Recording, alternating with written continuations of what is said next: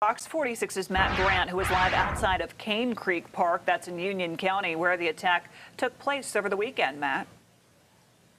Yeah, the attack happened right behind me on Saturday. The family has now started an online fundraiser to try to raise money for mounting medical bills, which are expected to be around $25,000. Tonight, the victim's brother is speaking out exclusively to Fox 46. We should warn, though, that the video you're about to see may be troubling to watch. It's okay. This carriage ride turning to chaos. A bystander uploading this video to YouTube showing a dog attacking a horse. It happened the day before Easter at Cane Creek Park in Union County. You can hear the screams of young children as the dog escapes its leash and lunges without warning. He jumped up and actually latched onto the horse's throat. Those on board quickly jump off. The horse, named Queen Charlotte, uses her legs to kick the canine, but the dog doesn't relent. And it was bad. It was it was horrific. The victim's brother, Travis, spoke exclusively with Fox 46. He says his sister, Amanda Medlin Underwood, tried to break up the fight. She suffered multiple head wounds that had to be stapled and a broken foot that will require surgery. The horse trampled my sister four different times throughout that event.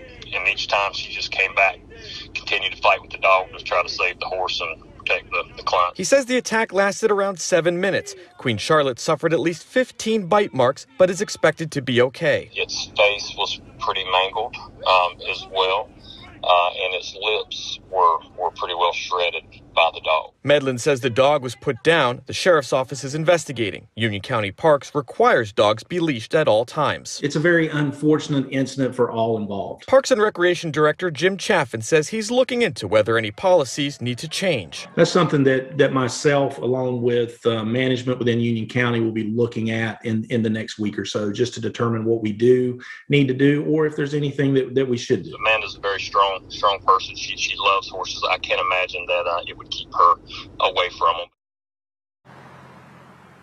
Carriage rides here at the park have been suspended indefinitely. The family tells me uh, they're looking to hire an attorney and are considering a civil lawsuit uh, against the owner of the dog for the mounting medical bills. We were unable to reach the dog owner for comment. Live in Union County, Matt Grant, Fox 46.